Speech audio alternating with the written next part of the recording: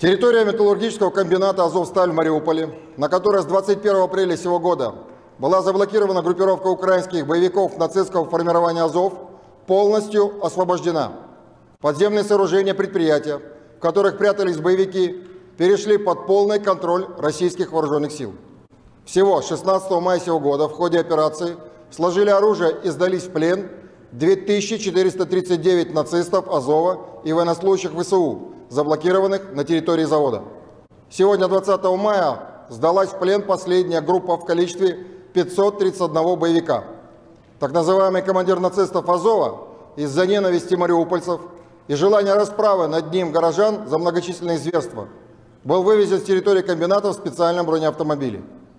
О завершении операции и полном освобождении комбината и города Мариуполь от украинских боевиков министр обороны Российской Федерации генерал армии Сергей Шойгу доложил президенту России Владимиру Владимировичу Путину.